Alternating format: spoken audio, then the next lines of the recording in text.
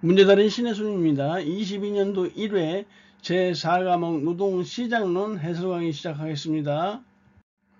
61번 경기적 실업에 대한 대책으로 가장 적합한 것은 경기적 실업은 경기 침체 시에 총수요 부족으로 인해서 발생하는 실업이 경기적 실업이니까 총수요를 증대시키는 것이 대책으로 나와야 되겠죠. 정부에서 재정 지출을 확대하고 또는 어, 금리 인하 금리 인하라든지 조세 감면을 통해서 시중의 통화량을 증대시키는 것이에요. 그러므로 인해서 총수요 즉 유효 수요를 증대시키는 것이죠. 1번은 구조적 실업에 대한 대책이고요. 3번, 4번은 마찰적 실업에 대한 대책이에요. 2번에 마찰적 실업의 원인에 해당하는 것은 모두 고르시오 했는데 마찰적 실업은요 신규 취업자 또는 전직자 직업을 옮기려고 하는 사람이 직업을 찾는 과정에서 일시적으로 발생하는 것이 마찰적 실업이거든요. 그래서 이 마찰적 실업에 대한 대책은요 어, 직업 정보를 원활하게 제공해 주는 것이에요. 어, 기업번 맞는 내용이고요. 니은번, 디귿번은 구조적 실업에 대한 원인이, 원인으로 해당되겠네요. 그래서 정답이 1번이죠. 63번. 노동시장에 대한 설명으로 틀린 거. 1번에 재화시장은 불완전 경쟁이더라도 노동시장이, 노동시장이 완전 경쟁이면 개별 기업의 한계 요소 비용은 일정하다. 그, 그저 이렇게 직관적으로 받아들이시면 돼요. 맞는 내용이고요. 2번에 재화시장과 노동시장이 모두 완전 경쟁일 때 재화 가격이 상승하면 노동 수요 곡선이 오른쪽으로 이동한다. 노동 수요 곡선이 노동 수요 곡선이 오른쪽으로 이동한다라는 것은 노동 수요가 증가한다는 얘기예요. 한번 보실까요?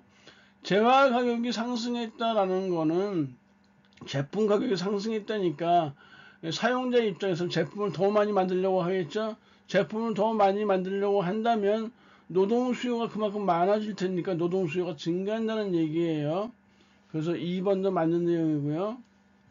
3번에 재화 시장과 노동 시장이 완전 경쟁일 때 임금이 하락하게 되면 임금이 하락하게 되면 사용자는 노동 수요를 더 많이 노동을 더 많이 쓰려고 하겠죠. 그래서 노동 수요량은 장기에 더 크게 증가한다 맞는 내용이고요. 4번에 재화시장이 불완전 경쟁이고 노동시장이 완전 경쟁일 때 임금은 한계 수입 생산보다 낮은 수준으로 결정된다 아니에요.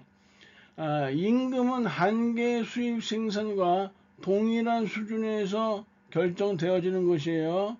어, 이자가 최저 고용이라고 하죠. 이 노동시장이 완전 경쟁이기 때문에 그래요. 만약에 여기서처럼 임금이 한계 수입 생산보다 낮은 수준으로 결정된다면 노동자들이 이탈하겠죠. 완전 경쟁이기 때문에. 만약에 완전 경쟁이 아니라 수입 독점 시장이다, 수요 독점 시장이라고 한다면 사용자가 노동자보다 높은 위치에 있기 때문에 임금은 낮은 수준으로 결정될 수 있어요. 수요 독점 시장에서는요. 하지만 완전 경쟁이기 때문에 임금은 한계 수입 생산과 동일한 수준으로 결정된다 라고 하셔야 돼요. 64번 실업에 관한 설명으로 옳은 거 정부는 경기적 실업을 줄이기 위해서 총수를 증대, 증대시켜야 한다고 했었죠. 그러니까 기업의 설비 투자를 어, 증대시켜야 해요. 억제시키는 것이 아니라 이번에 취업자가 존재하는 상황에서 구직 포기자의 증가는 실업률을 감소시킨다 이렇게 했는데 한번 보, 보실까요? 생산 가능 인구 15세 이상 인구는 경제 활동 인구와 그리고 비경제 활동 인구로 구성이 되어 있어요.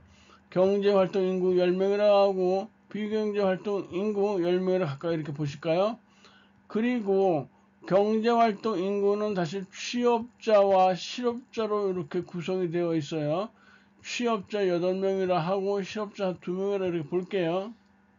그렇다면 취업자가 존재하는 상황에서 구직 포기자의 증가, 구직 포기자는 직업 얻기를 포기한 사람들이니까 이 구직 포기자는 비경제 활동 인구로 이렇게 빠져가는 것이에요. 그러니까 이 실업자 중에서 비경제 활동 인구로 빠져간 거란 말이에요. 구직 포기자 증가는. 그러니까 실업자 수가 결국 한 명이 빠져나가면 줄게 되는 것이죠. 그러니까 실업률을 감소시킨다. 2번 맞는 내용이네요. 전업주부가 직장을 가지면 실업률과 경제활동 참가는 모두 낮아진다 했는데 이 전업주부는 전업주부라든지 학생은 바로 비경제활동 인구에 해당되어져요. 근데 이 전업주부가 직장을 가지면 이 비경제활동 인구에서 취업자로 이렇게 바뀌어 경제활동 어, 인구수 바뀌었다는 얘기 아니에요. 그렇다면 경제활동 참가율은 높아지겠죠? 높아지고 실업률은 어, 실업률은 경제활동 인구수분의 실업자 수인데 실업자 수는 변동이 없고 경제활동 인구수 한 명이 늘어난 셈이니까 실업률은 낮아진다 이렇게 보시면 되겠네요.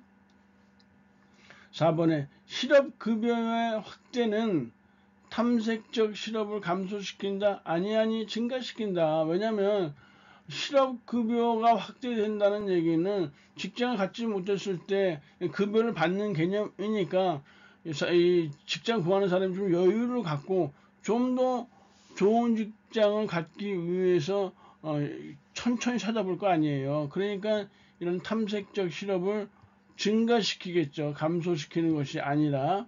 그래서 4번도 틀렸어요. 65번. A 국가의 경제활동 참가율은 50%라고 했어요. 경제활동 참가율은 생산 가능 인구수 분의 경제활동 인구수 곱하기 100이란 말이에요. 근데 이게 50%예요.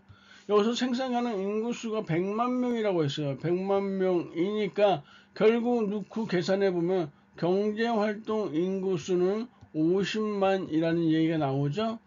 그 다음에 취업자가 40만 명이라고 했는데 경제활동 인구는 취업자 플러스 실업자니까 취업자가 40만이라고 했으니까 실업자는 10만이라고 대본에 알 수 있죠.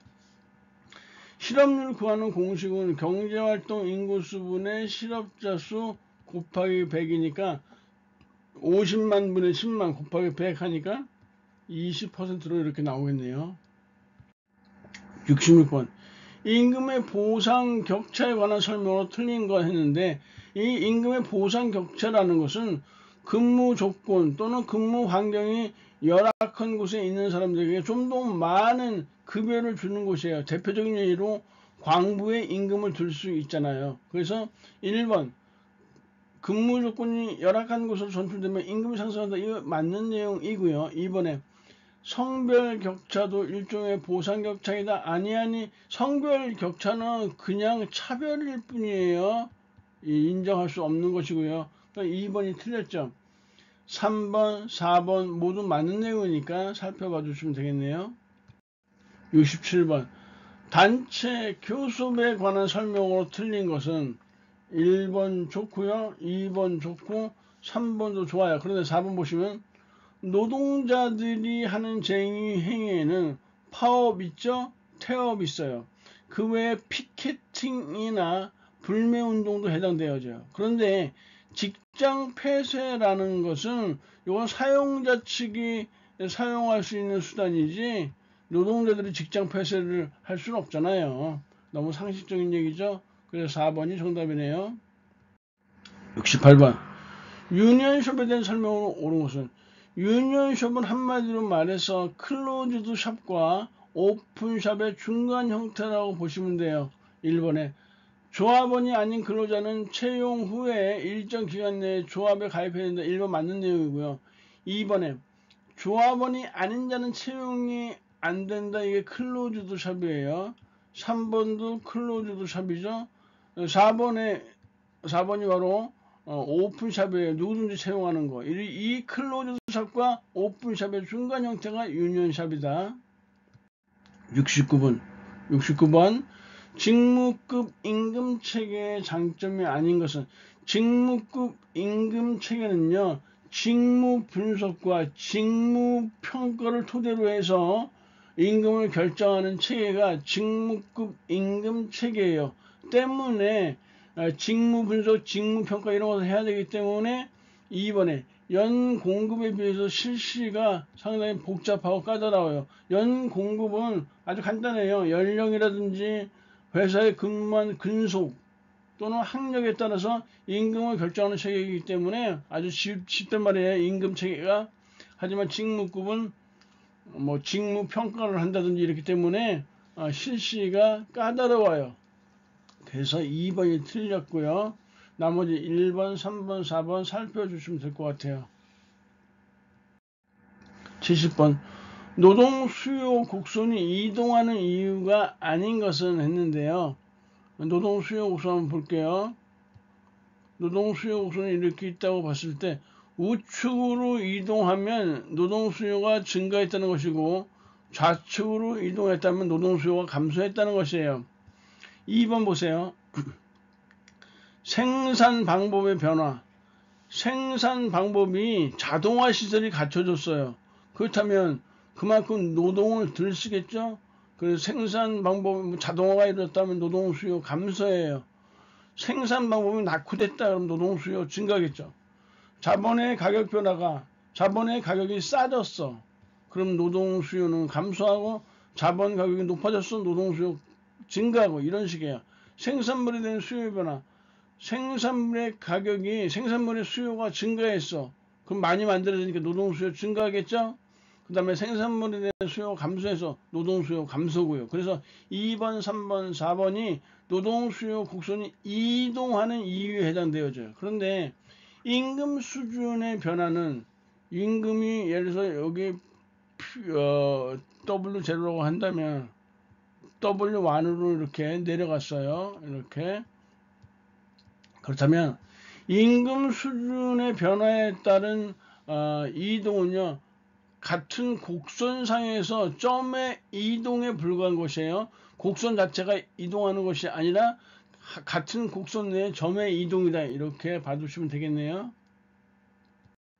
71번 이원적 노사 관계론의 구조를 바르게 나타낸 것은 이원적 노사 관계론은요. 1차 관계는 경영대 종업원의 관계고요. 제2차 관계는 경영대 노동조합의 관계예요. 그래서 3번 정답인데요. 이 제1차 관계는요. 노사 간의 친화, 우호, 협력을 바탕으로 하고 제2차 관계는 어, 노사 간의 임금이나 근로조건을 둘러싼 그런 이해관계가 작용하는 관계가 제2차 관계예요. 72번 산업별 노동조합의 특성과 가장 거리가 먼거 어, 그 해설의 꿰뚫어 보게 보면 노동조합의 형태가 잘 나와 있죠. 산업별 노동조합, 기업별 노동조합, 직업별 노동조합, 그리고 일반 노동조합 이렇게 구분 노동조합의 네 가지 형태가 잘 나와 있으니까 꼭 받으셔야 돼요. 전 문제 아주 잘 나오는 것이에요. 여하튼 여기서 가장 거리가 먼 것은 4번에 숙련공만의 이익옹호단체가 되기 쉽다. 숙련공만의 이익옹호단체가 되기 쉬운 노동조합은요. 직업별 또는 직종별 노동조합에 해당되어져요. 산업혁명 초기에 숙련 노동자들이 자신들의 이익을 위해서 만든 결성한 단체가 바로 직업별, 직종별 노동조합이에요. 산업별 노동조합은 어, 최근 전 세계적으로 어, 채택되고 있는 노동조합의 형태네요. 73번 노동 수요 탄력성이 0.5래요. 다른 조건이 일정할 때 임금만 5% 상승한다면 고용의 변화는 어떻게 됐냐 했는데 노동 수요 탄력성은요. 임금의 변화율 분에 임금의 변화율 분에 노동 수요량의 변화율이에요. 그러니까 이게 0.5라고 했죠. 그러니까 임금의 변화율이 지금 뭐냐면 5% 상승했다고 했잖아요. 5% 상승했어요. 그럼 노동 수요량의 변화율은 어떻게 되겠느냐? 이거 0.5라고 했으니까 이거 갖다 곱해놓으면 2.5% 임금이 상승했으니까 노동 수요량은 감소하겠지. 간단한 것이에요. 2번으로 채택되어지네요. 74번에 구인처에서 요구하는 기술을 갖춘 근로자가 없다. 구조적 실업이죠. 이런 실업에 관한 문제가 실업에 관한 문제만 지금 한 회차에 세 문제씩이나 나왔잖아요. 뭐 시험 보는 우리로서 뭐 나쁠 건 없지만 이거 직업 상담사 시험 문제 수준을 떨어뜨리는 아무리 문제은행식이라고 해도 좀 이런 문제는 한꺼번에 세 개가 나와버리는 경우가 어디 있어요. 한 문제씩만 넣어야죠. 좀 이런 걸름 장치가 여과 장치가 좀 필요할 것 같아요. 아, 참고적으로 이 잠재적 실업이라는 것은 표면적으로는 실업 상태가 아니에요. 하지만 수입이 거의 없어서 완전한 생활을 영위하기 어려운 반실업 형태를 잠재적 실업이라고 하고요. 대표적으로 영세 농가를 들 수 있어요. 자발적 실업은 말 그대로 자기의 뜻대로 실업하는 것이야. 이 마찰적 실업은 자발적 실업의 한 형태라고 보시면 돼요. 75번. 최저임금제가 고용에 미치는 부정적 효과가 어, 가장 큰 것은 최저임금제는 일반적으로 고용량을 감소시킨다고 했었죠. 그런데 고용량을 감소할 때, 고용량을 감소시킬 때 노동 수요 곡선과 노동 공급 곡선이 모두 탄력적이라면 그 부정적 효과가 더 크게 작용하는 것이잖아요. 1번이에요. 예를 들어서 비행기 조종사 같은 사람들, 의사 같은 사람들은 임금에 따라서 뭐 더 많이 쓰고 더 적게 쓰고 이럴 수가 없잖아요.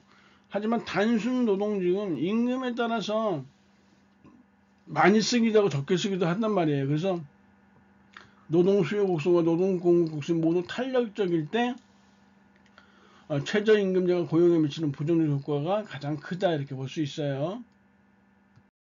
76번 유보임금에 관한 설명을 옳은 것. 유보임금은 근로자의 의증임금이라고도 하고 의증임금, 요구임금 또는 눈높이 임금이라고도 해요. 그래서 리일로 맞았어요. 유보임금은 근로자가 받고자 하는 최저의 임금이다라는 것이죠. 이렇게 되면서 디귿은 자연스럽게 틀리죠. 기업이 근로자에게 제시한 최고의 임금이다. 틀렸어요.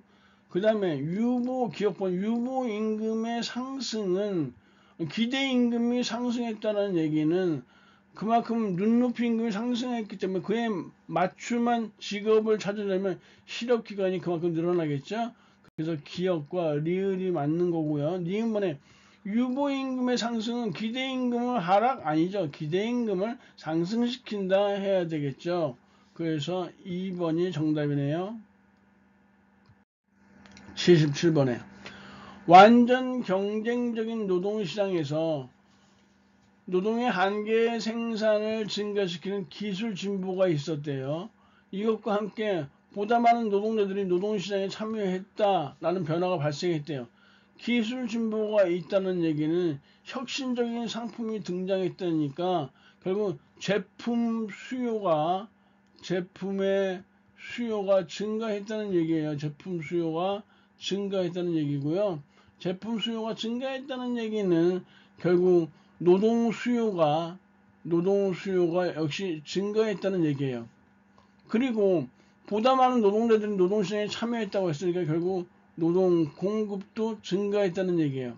다시 정리해 보면 노동 수요와 노동 공급이 함께 증가했을 때 노동 시장에서 발생하는 변화를 고르면 되는 것인데요. 노동 수요가 이렇게 있어요. 그리고 이게 노동 수요예요.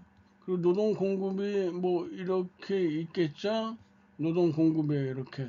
거기에서 만나는 점에서 균형 임금이 결정되겠죠.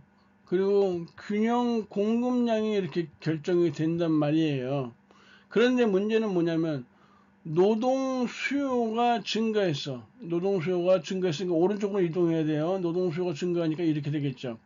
노동 수요만 증가했다면 균형 임금도 균형 임금은 당연히 상승했을 텐데 어, 균형 어, 고용량도 상승했을 것이고 문제는 노동 공급량도 함께 상승했단 말이에요. 그렇다면 만약에 노동 공급량이 노동 수요 증가한 폭만큼 똑같이 이렇게 증가했다면요. 증가했다면 균형 임금은 변동이 없어요. 그런데 이 노동 공급이 약간 적은 폭으로 상승했다면 균형임금은 상승하고 더 많은 폭으로 증가했다면 균형임금은 하락하겠죠. 즉 균형임금의 변화는 예측하기 어려워요. 균형 수요와 균형 공급의 증가 폭에 따라 달라지기 때문에 그래서 반면에 균형 그 노동 고용량은 무조건 상승하는 것이에요. 그래서 일본의 균형 노동 고용량은 반드시 증가하지만 균형 임금의 변화는 불명확하다. 1번 정답이에요. 잘 파악해 두시고요. 78번 연봉제의 장점과 거리가 먼 거. 연봉제의 장점 전문성이 촉진되어지겠죠? 그- 그리고 2번 맞는 내용이고요. 어, 4번 4번도 우리가 맞는 내용이에요. 하지만 3번에 연봉제 그 개인의 능력에 따라서 받는 돈이 달라지기 때문에 구성원 간에 시기 질투가 나올 수밖에 없겠죠. 그래서 구성원 상호 간의 친밀감은 떨어지게 된다. 80번 경제적 조합주의에 대한 설명을 틀린 거 노동조합 운동과 노동 이 경제적 조합주의라는 것은 노동조합 운동을 정치로부터 분리시키는 것, 독립시키는 것을 특징으로 하는 것이에요. 그래서 1번이 딱 틀렸네요. 80번 개인의 후방 굴절형 어, 에 대한 노동 공급 곡선에 대한 설명을 옳은 건 했는데 이, 여기 표를 제가 갖다 놨는데요.